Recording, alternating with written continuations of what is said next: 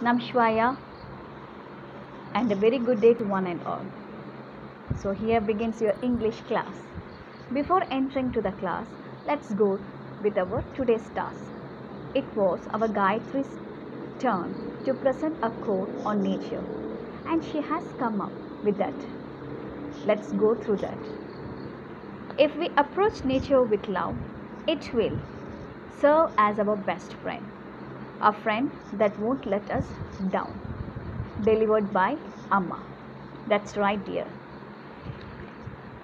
Not only that, Amma has said, Amma has asked us to live in harmony with nature, which will build a healthy mind in us. Thank you, Gayatri. With this, we are going to our today's topic. I hope all of you are ready with your text and a pencil. Please take page number 123. Here comes the topic, and the topic is Meadows Surprises. So, we are going to talk about the nature here. And now, just turn the page, you can see our poet. Please underline the name of the poet that is Louis Brandeis Philip. Right? Again, come back to the first page. In the first page, you are having a beautiful picture, greenery. Just have a look over that one and start analyzing. Just find out what are the different things that you are being seen in that picture. Yes, you are seeing a rabbit, you are seeing butterfly, many flowers, all those. Right. Now, let's go with the poem. Before that, let's introduce our poet. Here comes our poet, that is Louis Brandeis Philip.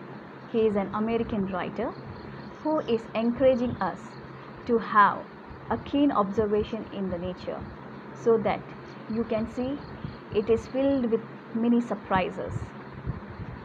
With the help of poem Meadows Surprises, he is to convey that point.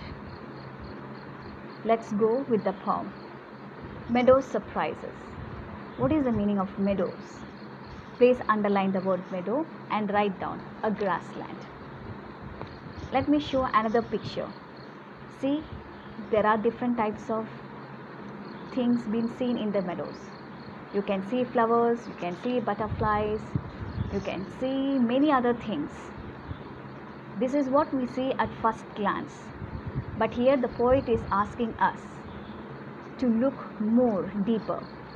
Then you will find out what is there. Now, talking about the poem, it consists of six stanzas, dear, and we are just going through the first two stanzas. Okay, so before explanation, let's go through the poem, and here is the poem. Meadows have surprises. You can find them if you look. Walk softly through the velvet grass and listen by the brook.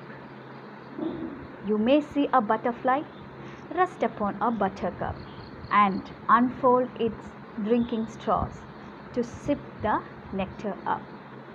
A very simple poem which is talking about the nature, the features of natures. Let's go with the first stanza. Here goes. Meadows have surprises. You can find them if you look. Walk softly through the velvet grass and listen by the brook.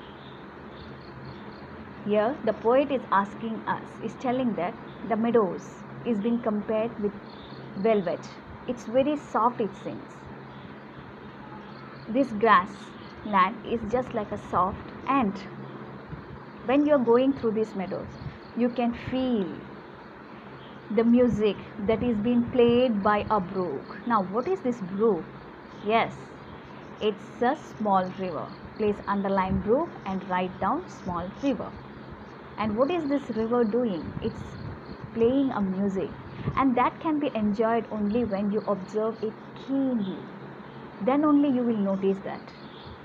Otherwise, as I said before, only leaves, butterflies, only that. Right? So, this is what in the first stanza it is been described. Now, let's go with the second stanza. In the second stanza, what is that you are seeing? You may see a butterfly rest upon a buttercup and unfold its drinking straws to sip the nectar up. So, here once again the poet is telling that you can see many butterflies. Before that, let me show the picture. Here also, in this picture, you can see different flowers and different types of butterflies. And what is that they are doing? They are just sitting over the butterfly and having the nectar.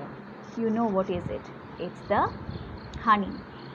This is what we see, we all of us see.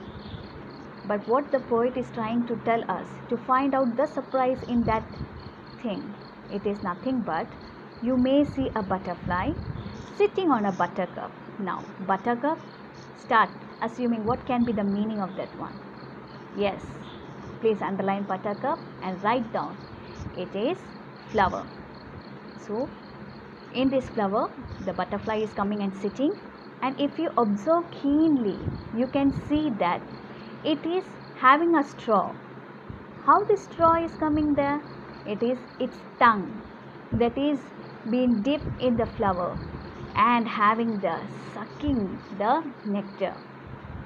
You can see that one. So beautifully, the tongue is being described as a straw by the poet in this poem. So once again, I'm repeating the same lines.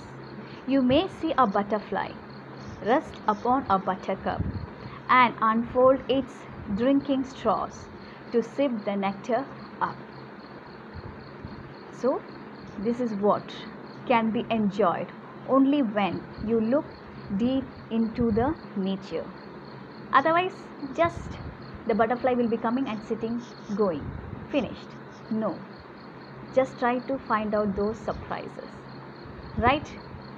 So, once again, the lines I'm repeating and have the picture in your mind. Meadows have surprises. You can find them if you look. Walk softly through the velvet grass and listen by the broom. You may see a butterfly rest upon a buttercup and unfold its drinking straws to sip the nectar up. So nice sweet lines to memorize also right? So here comes the end of two stanzas. In this you can just find out try to find out the rhyming words. Yes that is surprises grasses and again the next one it is look in the second line and brook in the fourth line similarly in second stanza you can find out buttercup and the other one is up. So these are the rhyming words that is seen in this form. So the next task that I am going to give to you is for the next class you can by heart any one of the stanza and send me an audio clip so that I can have a discussion in the class. Let me find out the different voice modulation and just send it. Okay dears? Thank you and have a nice day. Nam Shivaya.